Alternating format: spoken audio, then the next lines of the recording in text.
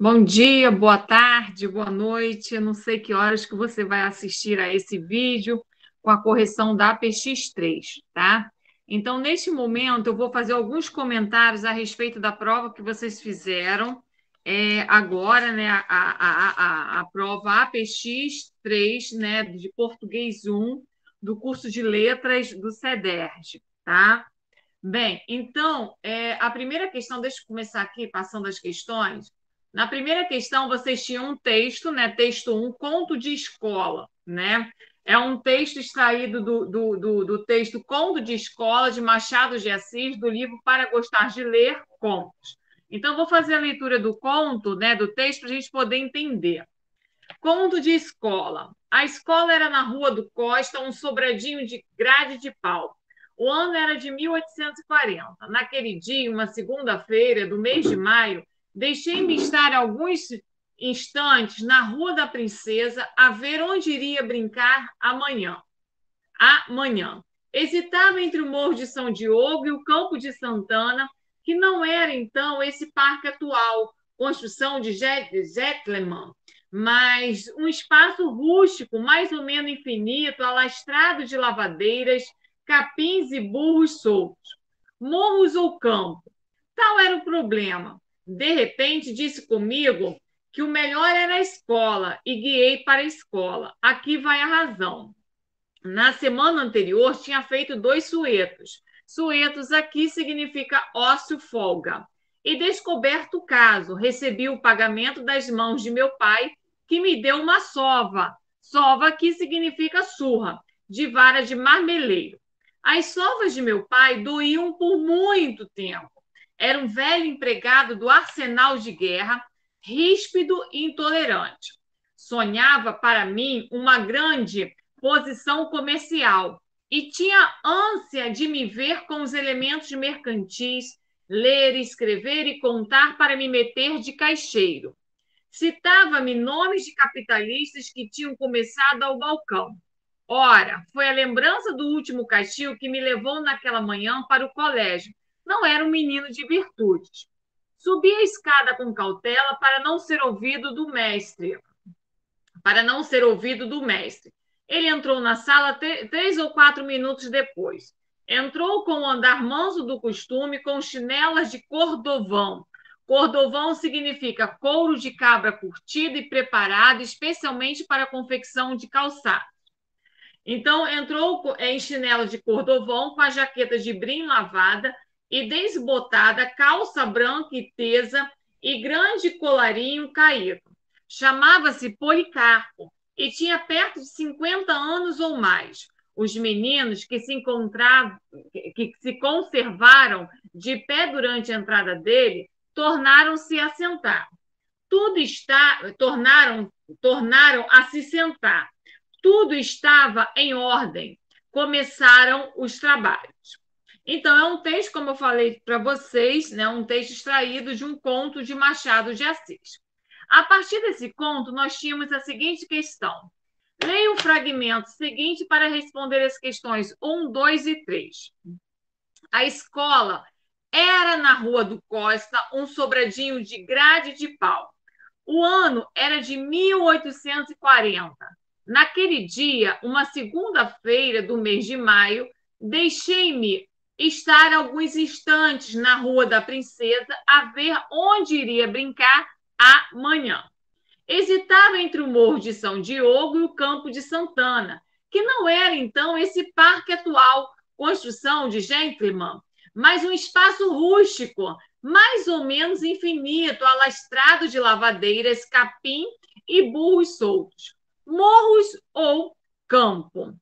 Tal era o problema. De repente disse comigo que o melhor era a escola e guiei para a escola. Aqui vai a razão. Então, entre escolher a brincadeira e a escola, né, ele preferiu escutar a razão e, e foi né, em direção à escola. Bem, é, vocês devem ter observado que nesse fragmento extraído do texto 1, alguns verbos estão sublinhados.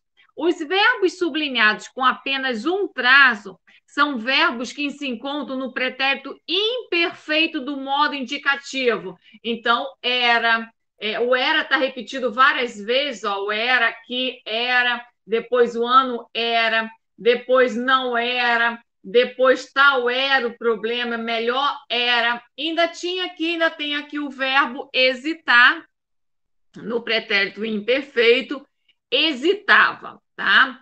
E os verbos que estão com dois tracejados estão no, estão no modo é, indicativo, mas no tempo pretérito perfeito, né? Então, são os verbos deixei e disse e o verbo guiei. São os três verbos que estão no pretérito perfeito do modo indicativo. Bem, então, olhando esse trecho aqui, vocês teriam que responder o seguinte: observe os verbos sublinhados. Com uma linha, os verbos que estão no pretérito imperfeito indicativo. E com duas, os verbos no pretérito perfeito também do indicativo.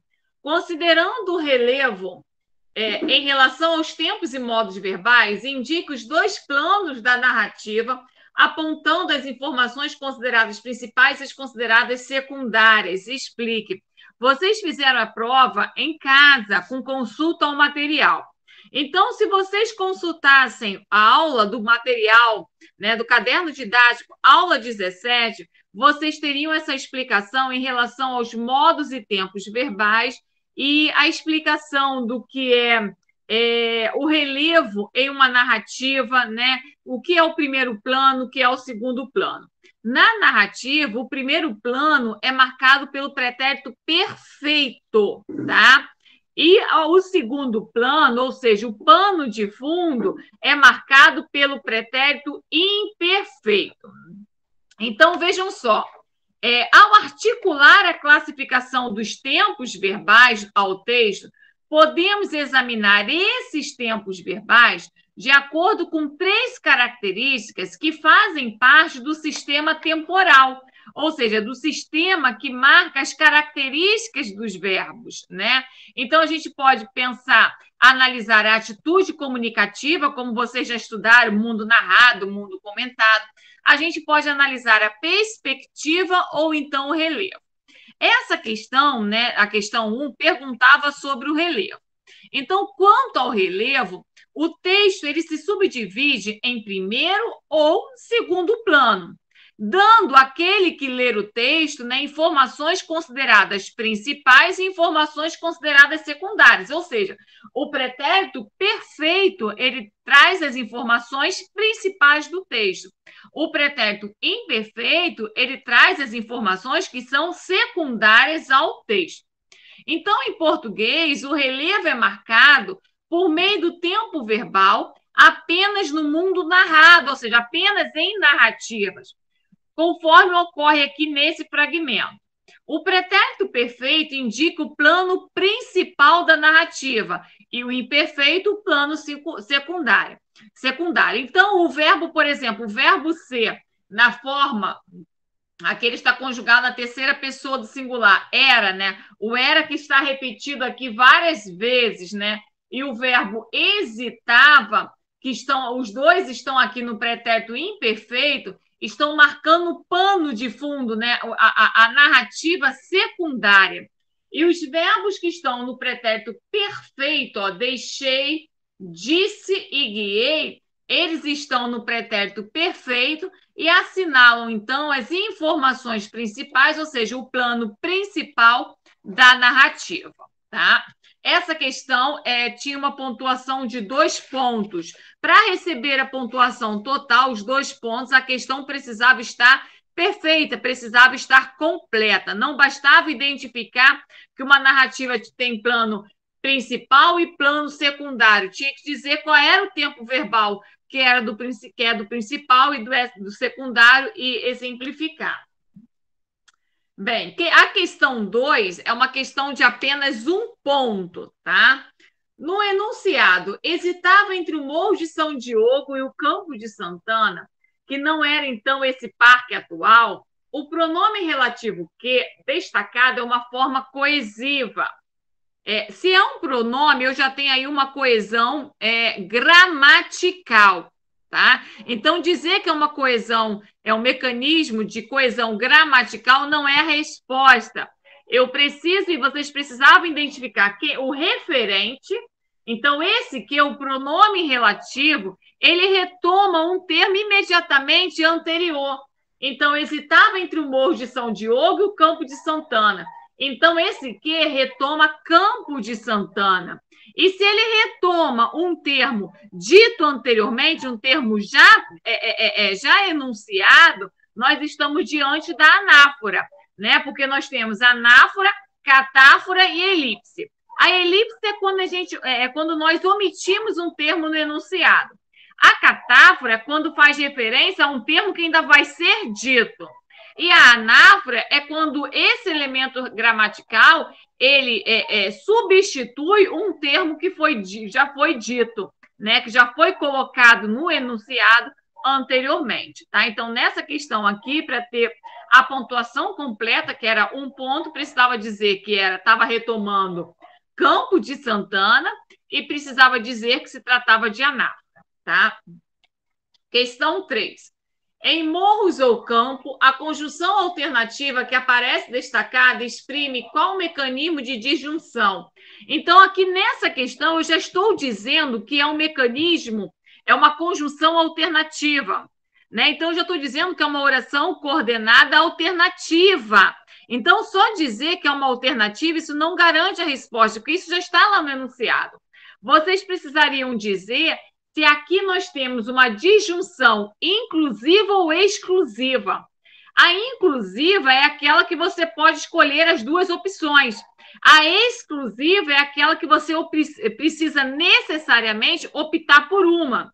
Tá? Então, nessa questão, a relação lógica da, a relação lógica da disjunção aqui é, a, é do ou exclusivo, já que você não pode, não se pode brincar ao mesmo tempo no morro ou no campo, ou seja, uma alternativa vai excluir a outra, tá certo? Essa questão é, vale dois pontos e esse conteúdo vocês encontram na aula 6, tá? O conteúdo da questão 2 é um conteúdo que vocês encontram na aula 8. Então, na a questão 3 vale dois pontos e conteúdo da aula 6. Questão 4 é um conteúdo que vocês encontram na aula 25. E a questão 4 vale dois pontos. Você deve ter observado, ao ler o texto, que há, alguma, que há algumas palavras cuja significação é dada entre colchetes. Como é um texto de 1840, pode ser difícil compreender o significado dessas palavras, sem recorrer a um dicionário. Levando em consideração essas circunstâncias, identifique a variante que se pode depreender nesse texto. Comente. Então, se ah, nós estamos diante de uma variação ocasionada pela mudança no tempo, né, pela evolução da língua ao longo do tempo, nós estamos diante da variação diacrônica, tá? Ou também alguns poderiam ter colocado variação histórica, tá?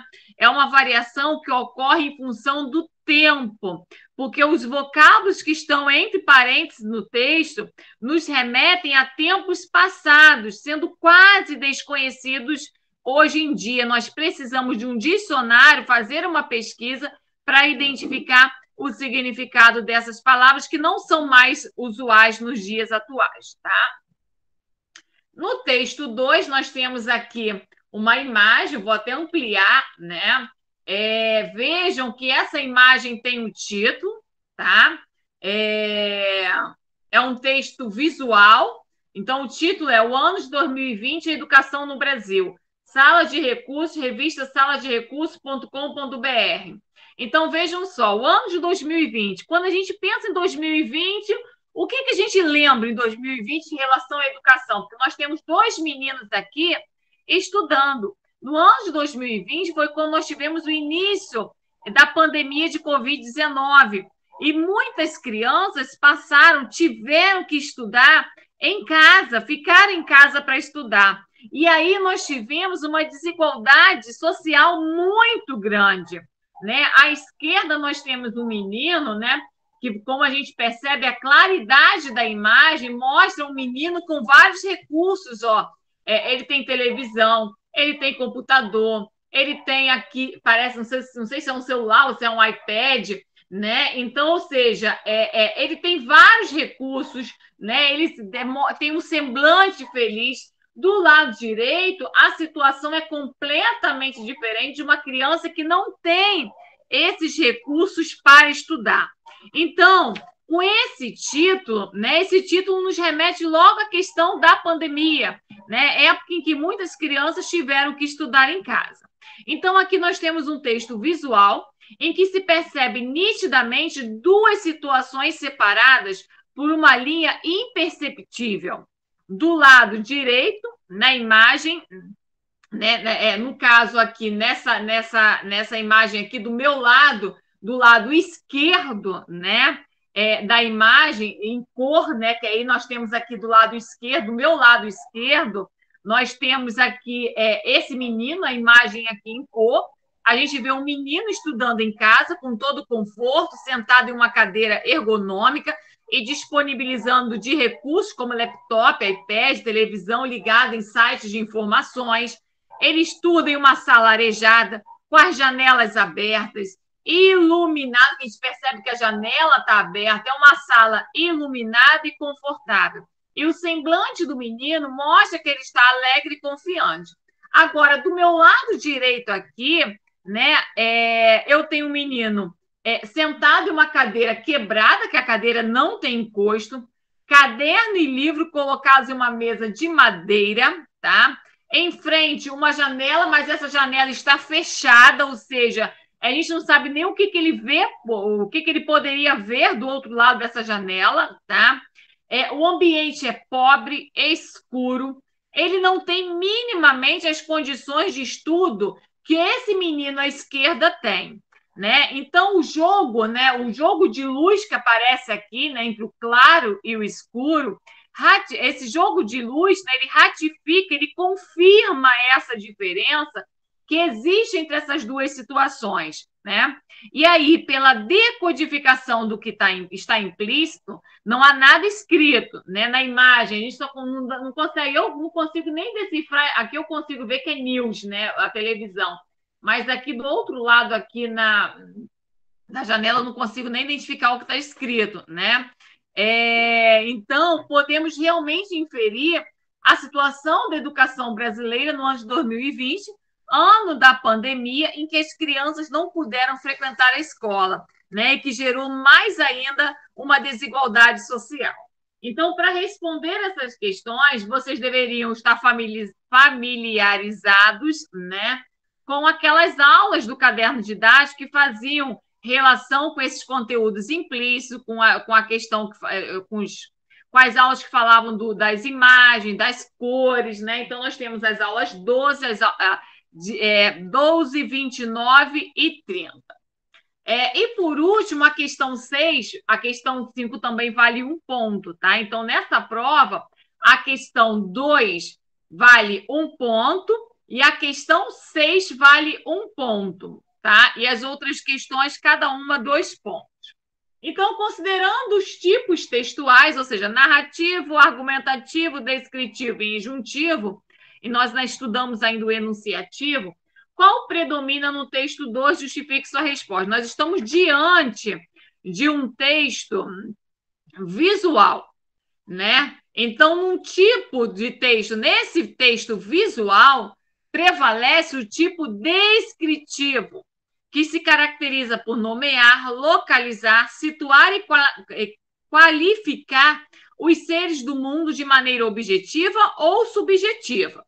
Nesse tipo textual, né, no tipo descritivo, nós temos um autor que é observador, que não vai contar uma história, não vai narrar, narrar como, por exemplo, no modo narrativo, né, que temos aí uma passagem de tempo numa visão dinâmica.